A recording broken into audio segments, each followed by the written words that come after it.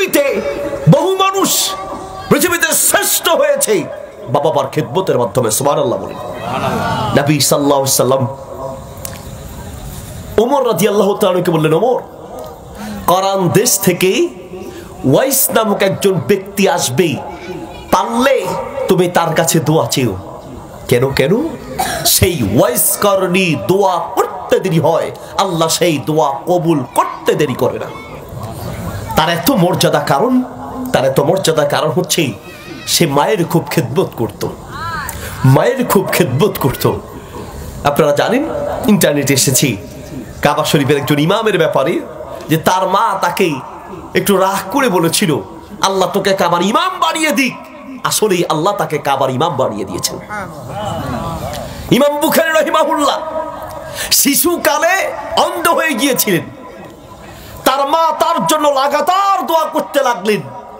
আর মনের ভিতর বিশ্বাস ছিল, যেই আল্লাহ অন্ধ করেছেন, সেই আল্লাহ চাইলে আবার তার চোখ ফিরিয়ে দিতে পারেন। লাগাতার দোয়া। কখনো কখনো লম্বা সময় ধরে, সারা রাত ধরে দোয়া, সারা রাত ধরে দোয়া। আল্লাহ বলেন। আমাদের অনেক মায়েরা মাদ্রাসার ওস্তাদকে গিয়ে দোষী করে। হুজুর, আপনার ছেলে ছেলেটাকে এত আশা করে দিলাম ওই ছেলেটা তো মানুষ হচ্ছে না, পড়ালেখা ভালো হচ্ছে না।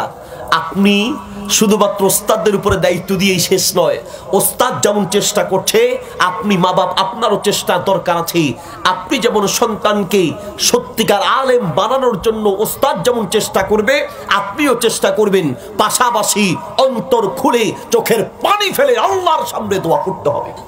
সন্তানের জন্য দোয়া করবেন। সবার প্রিয় ভাই, ইমাম বুখারে মোল্লার মা দোয়া করতে লাগলেন।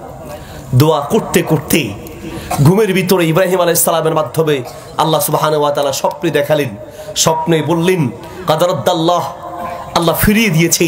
উঠে দেখো ইয়াহাদিহি হে মহিলা, আর কাঁদতে হবে না, উঠে দেখো। তোমার সন্তানের চোখ আল্লাহ ফিরিয়ে দিয়েছেন। ঘুম থেকে উঠেই সন্তানের ইমাম বুখারের কাছে গেলেন, বলছে, মা আমি তো এখন চোখে দেখতে পাচ্ছি মায়ের দোয়ার বরকতে অন্ধ অন্ধ সেই চোখকে ভালো করে ইমাম বুখারি দুটি চোখ আল্লাহ আবার ফিরিয়ে দিয়েছেন।